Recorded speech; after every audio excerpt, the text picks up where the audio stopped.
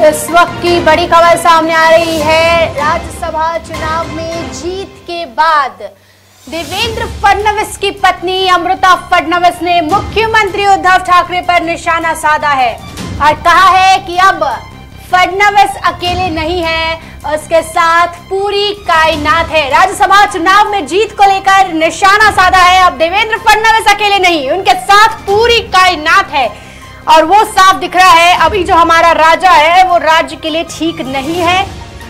अमृता फडनवीस ने ये भी कहा है और जीत के लिए बधाई दी है। चलती लोकल से युवती को फेंकने की कोशिश मुंबई में बारिश का रेड अलर्ट मुख्यमंत्री ने जारी किए नए दिशा निर्देश। शाहरुख खान की बेटे आर्यन खान गिरफ़्तार। महाराष्ट्र सरकार का बड़ा फैसला।